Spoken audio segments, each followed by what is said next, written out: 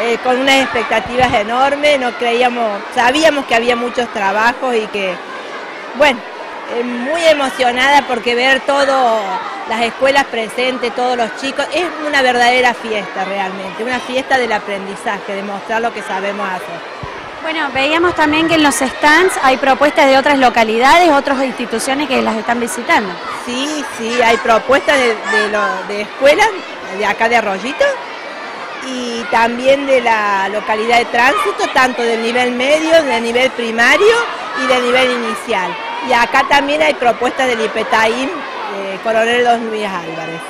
En lo que hace a su discurso, usted mencionaba que tiene que ver con una instancia de aprendizaje más. ¿Tiene que ver con otra modalidad, con la participación de un jurado? Sí, realmente las ferias de ciencia están muy abiertas ahora porque todas las disciplinas se pueden trabajar por proyectos y pueden ser presentadas.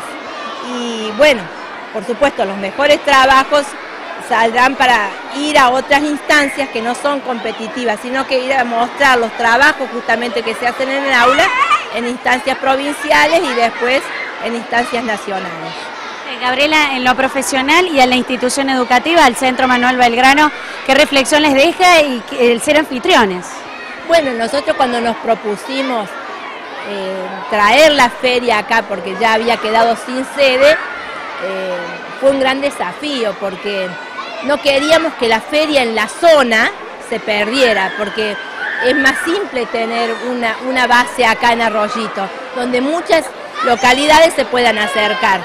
Bueno, eh, realmente el año pasado fue un poquito más chica, este año tuvimos otra acogida, y bueno, se va conociendo y se va instalando. Ya la escuela sobre que no es chica, pero tratamos de acomodarla lo mejor posible.